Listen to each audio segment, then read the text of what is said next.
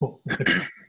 All right, thank you everyone uh, for joining us. Uh, this is timestamp, uh, April 4th. Uh, this is the uh, sales enablement session. We're going to be covering, uh, my name is Dan Gordon, technical marketing. we're going to be covering a click-through demo of the secure capabilities. click-through demo is basically a PowerPoint or slideshow full of screenshots that are created in such a way that a person can get the sense that they're going through the product, but it is also guided um, so it's put that can learn. Uh, all of uh, things that I'm saying are should be in the speaker notes, so you can pick it up and sit on a plane and read through it and, and practice to yourself. Uh, and when you give this or present this to someone, you're not hiding the fact that you're not in the product because you get to feel what the product interacting with it is like. All right. So I'll start showing. Jesus, who can share? Uh, okay, so you should be seeing my uh, slideshow. go ahead and start the presentation mode. do that because I can keep keep it contained within a window. So this is, as I mentioned, the, uh, the secure uh, capability. So this is the secure stage, um, which is focused around application security. Start by just talking about there's a there there are a lot of tools out there, uh, and what we've learned over time and heard from customers again and again is that the ability to deliver uh, on uh, on the promises of DevOps and, and on quick application delivery uh, of quality products is hampered uh, quite considerably by the fact that they have to spend a lot of time maintaining the tool chain uh, and integrating all the different pieces together. With GitLab, uh, we have capabilities across all of those uh, all of those stages integrated together, working uh, out of the box, so that that integration doesn't have to be done by the customer, but you can pick it up and you can start using it, putting your code in, and getting the secure applications at the other end. This particular demo is going to focus on this secure stage here that we have highlighted, uh, and in particular on the capabilities there uh, around what kind of scanning uh, and security we do. Just a quick overview, um, you know, I think continuous security is what we want to talk about here. It, it, the notion of doing waterfall security with iterative development, obviously there's a, a, mismatch there. Uh, and so really what we need to do is have iterative application security to match iterative development. If we're going to quickly do small iterations uh, of changes to our product, we need the security to work in the same way. And what we're about to show you is that capability, how, how GitLab can enable and empower the development team to become part of the security team by giving them all the information up front about the security levels of their application and their changes, uh, and even the ability to fix and resolve those changes before it gets pushed back to uh, to the main branch and before the security team even has to pick it up and start worrying about all of the changes that developers are making. Hey, Dan, your audio is a little bit muffled at times. sometimes it's okay, but other times some of your words are hard to okay. Thank you. I will try and enunciate better. I'm on, yeah, my, my headset's not quite working, so I'm, I'm working with uh, my unusual audio setup. So thank you. Give me, let me know again if, uh, if I drown out. Uh, try and talk up. Thank you. Uh, so uh, we're going to start with planning and creating. Uh, this is, uh, this is an area that the development team starts at. And so because we're talking about how GitLab is helping application security, uh, we're going to look at it from the developer's perspective. Uh, a developer is going to start by, by looking at their issues that they're going to work with or they're going to have issues that they're working with. Uh, in this case, we, we have a change that we want to make to the main page. Uh, GitLab has issue boards that are usable to, that, that can be used to keep track of all the work that needs to be done and what stage they're in. If I, oops, if I jump into that issue, I can see uh, just a quick brief. There, there's some changes that we want, we want to make to the main page. Uh, normally, uh, I would create a merge request from there when I'm ready to start working on the solution. So the issue is the problem statement or the use, the use case or the user story we need to solve for. And the uh, merge request is the start of the solution. And that solution or that merge request captures everything around our solution. In this particular case, we've already run through this, uh, and so there's a merge request already created, so we're going to go ahead and take a look at that. So I'm in the merge request, and this merge request, as I mentioned, captures all of the discussion, all of the changes, all the test results, uh, all the information about the change that the developer is working on. Okay, remember the issue is the problem statement. Uh, this uh, particular merge request, we see that things, it's already been run through. I can go and I can even see like the changes that were made, for example. We changed uh, the background color, uh, we changed the string, uh, we added a logo here. So I can get a quick understanding of what was changed uh, as part of the solution. I can also see the pipeline that ran in order to run that change through and validate and test it. So we'll take a look at that pipeline. And this is what where we start thinking about verifying. This is really where we're verifying the work that we've done. Uh, this particular pipeline is one that runs out of the box when you get GitLab. It's called Auto DevOps. And it does many things. One is which is it picks up the code and it figures out how to build it. Uh, and then we're going to focus in here on this area where, uh, where we're doing a lot around test.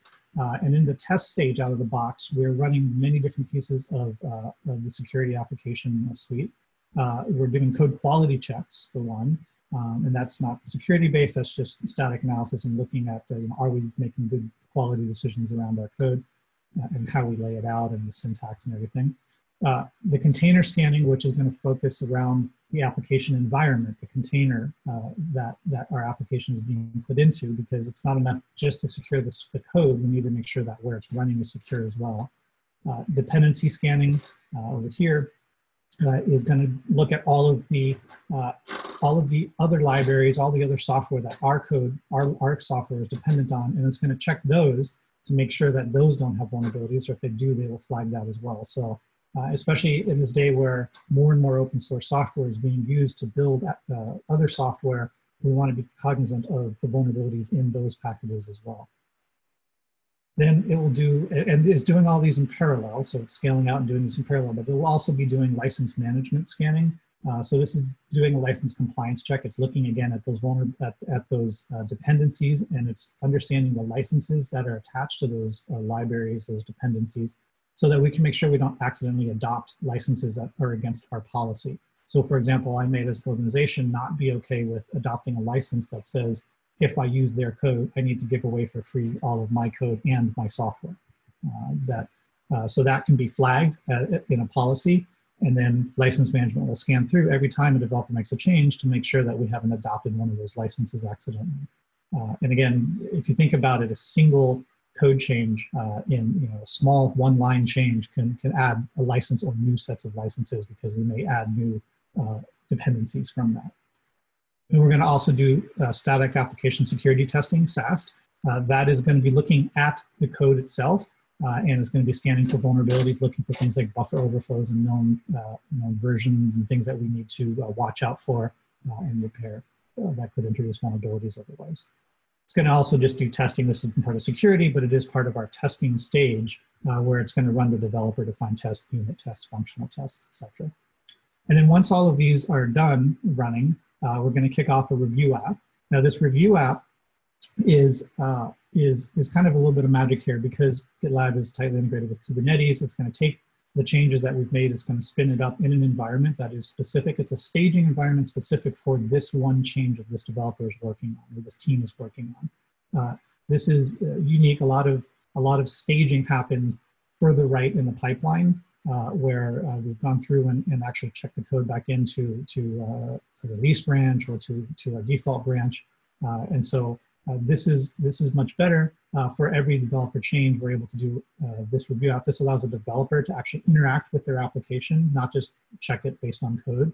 This allows stakeholders to actually interact with their application with their change. Um, and I'm pointing this out particularly in this discussion about our security capabilities because it also enables our ability to do this, the next stage, which is uh, dynamic application security testing. With dynamic application security testing, we're not just looking at the code, we're actually looking to catch vulnerabilities that happen when you put all the different pieces together. So things like cross-site scripting, um, uh, attacks, uh, we're, we're able to find those, and this is so DAST scanning is going to be doing that, but you know, to do that, you need a running application. Uh, we also do performance testing as well because we have a lot of that. So this is a lot of testing that happens and goes on, uh, and uh, one of the values here is that you don't have to go dig into each of these to go find the results. We actually bring those all back together into this merge request. Right? A single merge request around this, again, around the change that the developer or the team is making. Uh, and all that information comes back here. For example, here is that review app. I can easily go and take a look and I can see my changes took place. Again, this is a simple app, but we could do a full application. Uh, we're going to take a look now at some of the results of those scans, license compliance in this case. The development team can take a look from the merge request or the management team or anyone else uh, of are there any new licenses that were introduced as part of this change. In this case, there weren't, but we can also take a look at the full report of, of all of the uh, um, all of the code, and we can see that overall we're using uh, nine licenses of different sorts. I can dig into those licenses uh, uh, and understand, go get more information about it. Uh, and we can also see all the packages that we are using as part of our software that are using that license. Uh, so we can get a good sense and overview of, of where our vulnerabilities might be. Uh, I can blacklist if I have the permissions uh, set in this project. I can blacklist a license or approve a license uh, so that it doesn't flag um, or that it does flag. For now, we'll just leave this alone. Uh, again, if I have permissions, I can manage uh, at the project level and I can actually preset a policy that says these are the licenses that are okay, these are the ones that we don't want to have. And then that will get flagged with every change of the developer makes. Moving on, uh, I, we also did a lot of different security scanning and uh, I can look at those vulnerabilities again right from the MR. Scroll down to give us a little bit of room here. Uh, and right in the MR, I can expand and see I got 59 new vulnerabilities. Yikes, that was some pretty bad changes that I made there. Uh, and those are listed here. So I can take action right here from the MR, from the merge request. Uh, for example, this first one, uh, predictable pseudo-random number generator, I can go in and get the details. I can uh, go uh, deeper into that here. Um, and I'll, I'll, just stop for a minute from my, from my spiel to point out there is a, this is the kind of shortened version. You see there's a lot of boxes layered on top of, uh, pointing out lots of things at once. Uh, there's a longer version of this also available, uh, which does go a box at a time, but it also uh, goes a little bit deeper in areas like this, for example, where you, you can go and actually see the, the source of the information. And so um, that's also available. Uh, this is the like 10 minute version or so. Um, so back into, into the presentation. I can get more information about that vulnerability. I can see all the details about it. Uh, I can, from here, dismiss the vulnerability. Uh, I can create uh, uh an issue from the vulnerability, or if it, or one's already been created, I can view that. So here, we'll just go ahead and cancel. And come back here, I can also see exactly where uh, in my code, my changes, that vulnerability got triggered. So this is very helpful for troubleshooting and resolving issues. If I dismiss a vulnerability, it looks like this in the print in the uh, in, in the vulnerability list out, um, crossed out. When I go get details, I can see who dismissed it, on what pipeline, more information about that dismissal. Now, you may be saying to yourself, well, hold on, we're giving the developers the, the, the power to basically shuffle stuff under the carpet. And that's not the case. Uh, if I dismiss the vulnerability as a developer, it's going to carry through. Um, so vulnerabilities that don't get fixed are going to bubble up to the project level. So we can take a look here at the project level, in this case, Spring App Secure Server, right? So that, remember, that was on my change, right? And there's lots of developers working on the change for this one project. At the project level, there's a security dashboard that rolls up everything, looks at master, and then tells me about my vulnerabilities that are in my master branch. Uh, I can see that that, that the, uh, that the uh, Cypher uh, one that I dismissed is also still here and, and showing dismissed. Um, again, this is at the team level. So you may be asking, okay, well, wait a minute. What about the security, uh, you know, the security team, the ad security admins, the analysts? Are they expected to go down into all of the different projects and all the different merge requests and look for vulnerabilities to verify that things are getting you know, dealt with? No, they're not. Um, if I switch to now looking at the group security dashboard, and this is where more security admin or analysts will be looking at, uh, I can go up to the group level, and a group in GitLab is a hierarchical structure that I can make to have you know, represent my departments or my groups or larger sets of uh, projects that work together. So there's lots of projects under a group, and that group has a security dashboard, looks a little bit different. That rolls up that information and all the vulnerabilities from, from all of the projects below. I can filter by severity, by report type, by project. Uh, I can get an overall view. Hey, there's seven, you know, high high vulnerabilities here in this in this group. Um, I can get trending information. Um, so um, you know that, that live adjusts to what I'm looking at. And I can also see those vulnerabilities again across the different projects. So like in this case, I can see that all of these critical or all these highs are in, in, in tests. So I'm not worried about that. Uh, I can also get a quick view as, as an administrator. Okay, I can see that uh, as a security person, sorry, that that a vulnerability has been found, but somebody's also created uh, a issue against that. Uh, so that's going to be dealt with. I can go look at that and I can interact with that person uh, through, through the system. Uh, I can also see those ones that were dismissed that got bubbled up. So I can, and, and take action on them. I can get more information. I can decide to create an issue and assign it to someone and say, hey, this needs to be dealt with. And I can undismiss it as well. So at a high level, I have the ability to take action as a, as a security uh, admin uh, and not have to dive, dive, dive deep into you know, the, the merge requests and the, the lower level. So speaking of, I talked about, uh, we're really about empowering the development team to, uh, to fix the problems before the security admin has to catch them and say, you can't ship this, this is no good, right? This, you kick it back. We want those discoveries to happen and be fixed as early as possible. So I'm gonna talk about remediation. One of the things we're focused on is what we call auto remediation. And along the way, there's several capabilities that we're introducing to enable that. Uh, uh, we're looking at a project here where I found uh, an, issue, um, a vulnerability. Uh, and if we look at that vulnerability, uh, one of the things we have, and this is in today's product, two things we have. One is the ability to download the patch. So we've identified uh, what the problem is. We've identified what, what the patch is. I can look at that. I can download that as a developer, git apply it to my code, uh, and then commit that back in to, to have it go through the cycle and resolve the problem. Now, the other thing we have that we just recently added in the last release is the ability to start the merge request um, uh, and apply the fix. So I can do that right from here, which will then set me up with the branch and everything so that I can apply that fix. Now, where we're heading to in, in the fullness of what we're going here is to have those vulnerabilities found and fixed automatically. Now, this we're not there yet. We're working towards that. But you could imagine as a, as a developer, rather than coming in and seeing a message that I have security vulnerabilities that I need to fix, uh, I will be able to come in and see that there were vulnerabilities and that they have been fixed. And that's where we're, where we're going with this. So that is a quick overview of uh, secure capabilities within GitLab. So Dan, I had a quick question about the last slide. Yep. Um, so whenever you hit create merge request, obviously this creates an entirely new merge request rather than just adding on a commit to the offending merge request. Uh, I believe that's the case. Yes. Okay. Cool. Uh, because uh, this change may be right when we do merge requests. We want to do small ones that have a small change associated with them, so we can keep track of like what's doing what. If I make a merge request and I make some code changes, like I change the front page and I also fix a bug and and I also fix security vulnerabilities under that same single merge request, it starts getting larger and having more effect across everything. So we want to kind of compartmentalize the merge request. Yeah. Makes it harder to refer yeah. to. And that is a that is a GitLab uh, flow uh, piece. So yeah. Thanks. Mm-hmm. Thanks for the question.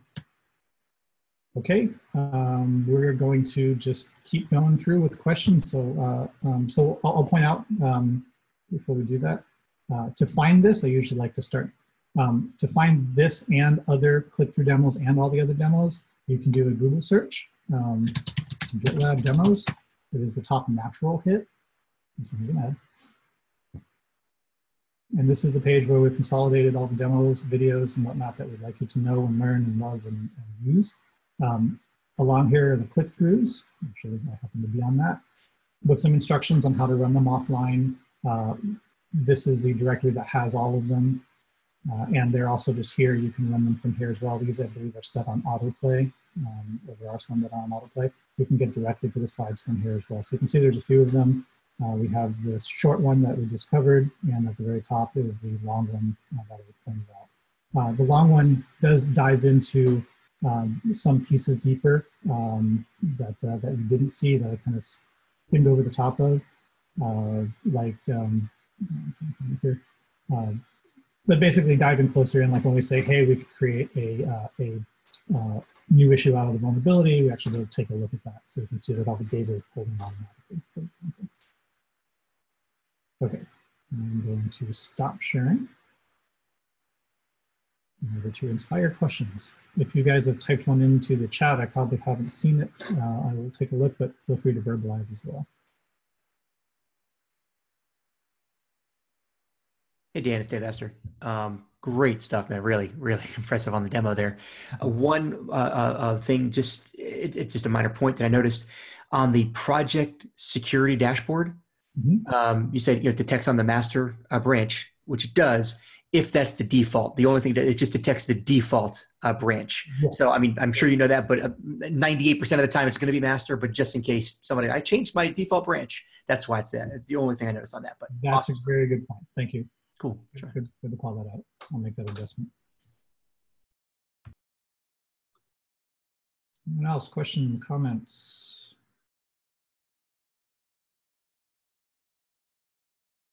Uh, there was a question in the chat, Dan, um, from Mike. Is there any demo for how to onboard a project into SAST uh, and make sure it's scanning fully? Um, to onboard a project in SAST. Um, there's no demo on that particular right now. Um, if there's uh, enough need for that or that'd be valuable, we can certainly work on that. And by onboarding, I think you it's particularly focused on the scanning fully. Is that? Yeah, so I can I can talk to that. Sorry. Um, the the process for like getting a project into Checkmarx is a you know two to six month sort of task and for any existing code base because you have to make sure that the scanner understands the code. You have to make sure that the rules make sense. You have to remove or add or change rules to make the, the results actionable and reasonable. You don't mm-hmm. want like a million false positives. You don't want a million false negatives, right? So, the, so there's a whole onboarding procedure that they like to sell as a uh, professional service sort of thing. Mm-hmm. Um, do we have any any material on how to approach that at all? Uh, we, you know, we I think did, but go ahead. Oh, sorry. No, no, please. We, we don't, but I think that's an excellent idea. Yeah, yeah. So we can, uh, you know, I'm part of it is right. Part of the idea here is that you don't need to uh, do a six month onboarding. Now, granted, there's a different level of output right now between what we, you know, we do and what they, you know, ultimately do. They're they're the super tool right now, um, and we're we're we're getting, you know, we're working towards that um, ability to identify false positives and things like that, I think will come. Um, but right now, uh, you know, part of this idea is right. We are looking at what is the software. We're figuring out what do we need to scan for. Part of what the magic that happens behind the scenes is okay. We're doing SAST. Well, which which language and and you know what what do we what do we run right? Uh, and so we're figuring that out behind the scenes. Granted, that doesn't cover all of the complexities that Checkmarx and show covers today, but that is the start of the path and the philosophy is that you don't exactly what you're saying need you know six month engagement by by professional services in order to you know to to get that level of scanning you know that's what we're working towards. Okay thank you. Mm-hmm. Again, I would even suggest your auto DevOps one because that's set it up and that's just it does what it needs to do from you know being set up for auto DevOps because it's automatically going to call you know SAST in there. Yeah, no, that's a great point. There's a, there's a click-through demo like this on Auto DevOps um, that uh, that you can look at that does talk about just getting a piece of software in and running it through the, the system and getting the, the SAST scans and looking at the results as well. And what is nice is we have recently templatized Auto DevOps. So each of those sections of the, the pipeline are split out into their own discrete CI YAML files that you can import. And so we're actually seeing customers create very complex pipelines to do a lot of different things more so than even auto devops does but then they'll import the SAST component or they'll import one component of the auto devops. So that's another way customers are using auto the auto devops is taking that as a templatized uh, way to do certain types of jobs. I want to i want to address larry's question about the um, find and fix vision. The so auto remediation. There are there's we're on the second MVC. So we've uh, the first one was to um, show that a patch was available to download. The second one uh, that we have right now is to actually create the merge release for that for that patch. and then um, you know we'll continue to improve and automate e- even more so we can actually run the pipeline and show the results. That'll be kind of the next part. But uh, so i don't want to leave with the impression that it's a future. It's we already have it. And and someone had asked uh, our other vendors doing that our competitors doing the auto remediation. Um, they're starting to, not the traditional application security vendors that have been around forever because they're too, they're not as tied in to the development process.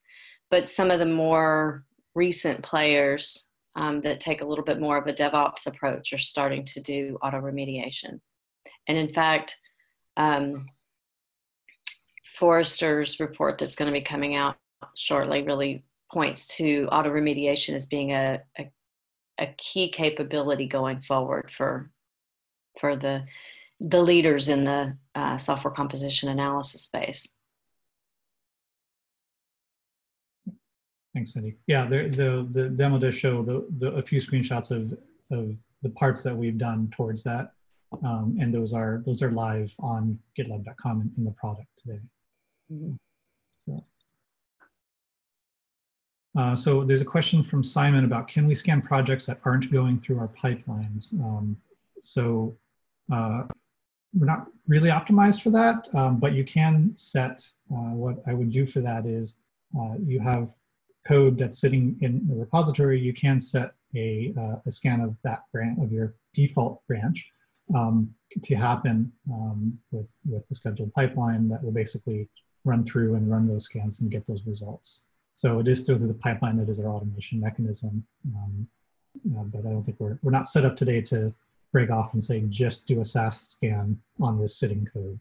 Yeah, that's not really the strategy in terms of why you would use GitLab for, for scanning. You'd use GitLab for scanning because it's built into your CI/CD process, as opposed to trying to to scan with us and then send it somewhere else. I think it, it was more like um, if there's a thousand projects and a hundred are being actively developed, let's say, but there are 900 older projects that aren't actively developed but are still used in the company, they would want to have an, a security audit potentially of whether those live projects that aren't being actively developed are secure as well.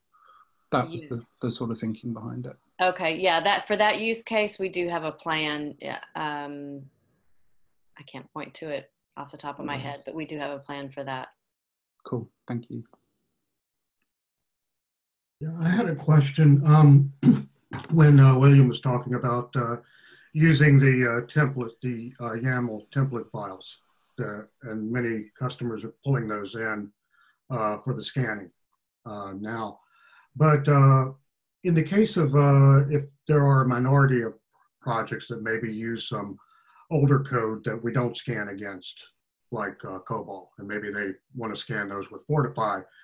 Are they able to take those templates and do a little customization on it so that uh, Fortify would be brought in and uh, run as part of the CI/CD process with GitLab? Is that doable? Hmm. Uh, you certainly could from a pipeline that's a custom pipeline call you know fortify or some or any other scanner to scan uh, to scan code um, we don't have a snippet for that or, or a YAML file for that. Those YAML, those components that William talking about are specifically off of the pieces that we provide. Um, okay. Yeah, I think so. I think there's there's two concepts. One is uh, we have these predefined jobs, things like our SAST and DAST, and uh, previously you had to copy and paste code to get that kind of functionality. And now those individual types of jobs are they just ship as templates with gitlab. This is a very recent update so i don't i wouldn't say we have a lot of customers do this but i do know of customers do this and we're working to get like some webinars out.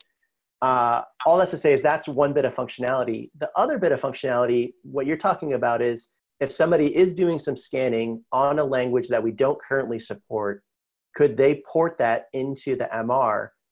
And I have heard of that. I don't know. I don't know Cindy, you probably have more depth on that use case. I'd have to understand why you'd want to do that. What would be the outcome you would expect for a language that we're not supporting? So it's not in the repo. You're not doing CI/CD on it. I'm not sure I would understand the value of that. Now I can say though, we do have customers that are importing results from other scanners into our pipeline, um, but not for like the the use case you mentioned, COBOL. You know, it's not for something that we're not already handling. The the one that I'm the one that I'm aware of, and I, I I'll have to dig up the details on it, but I, I do believe there's a couple, a few customers or users that are uh, they're doing a scan and that scan outputs a certain format and they're doing a data transform on that format to put it essentially into the JSON format that our UI component ingests. And so that on the MR, they get not only our scans, but this, this other tool scans are also showing up in the MR. I see David perhaps nodding his head. Maybe you're familiar with that one. Yeah, thanks. You're, you're exactly talking the case that, that I, the, the one that I'm familiar with is that, you know, we're looking for a particular, like I said, JSON format for those results. Um, you know, this is kind of a, a you know, I don't know if it's you know, caveat emptor type, uh, you know, uh, approach here, but if you were to get the results of whatever external scanning tool into these appropriate exact format that we're expecting, then it's quite possible you could get it to show in the merge request. But if that format changes in any kind of way on our side, then of course, then that format's not going to show any longer. So that's I, have heard of that working uh, in, in, that sense. It, I, I yeah, this is a non-supported use case, huh? Exactly. well, I, I, guess I had a, a, a similar question to that, or maybe the use case. So I've had a couple of questions from customers, and the, the kind of the bottom line is is when we talk to the security team they're most worried about the fidelity of, of the system, right? When we talk to development, they want to understand how do we get it in the pipeline, how do we shift it left, et cetera. But the the security team, the infosec team, is really worried about, hey, how do we match up against either existing products that they already have that's doing type of security? Um, what's the fidelity of it? And I think they see it. The feedback I've gotten it seems like, okay, we see you're early on in that journey. Um, and and and maybe we'll reevaluate you later. Yeah. Well, the, hold on. I, am sorry. We're four minutes over. I think this is a great discussion, so I hate to cut it off. I think we can have a whole separate session on this, and we should. Um, we know there's some some work to do here. Um, this is uh, from the perspective of presenting what we do have. Um, uh, that's what this is covering, and uh, I want to cut it off at that. And let's maybe maybe Cindy, we can set up a next or, uh, discussion to go deeper into yeah, I think the positioning would be um, important for y'all to understand in terms of there's a difference those that have incumbent products and those that don't in terms of approach. So, uh, so Brad and everyone else, we'll, we'll, set up a separate discussion to go deeper into that and cover that um, with enough time rather than rushing uh, the answer in the end here. So thank you all for, uh, for attending. I hope this was helpful. Um, send us feedback. Thanks.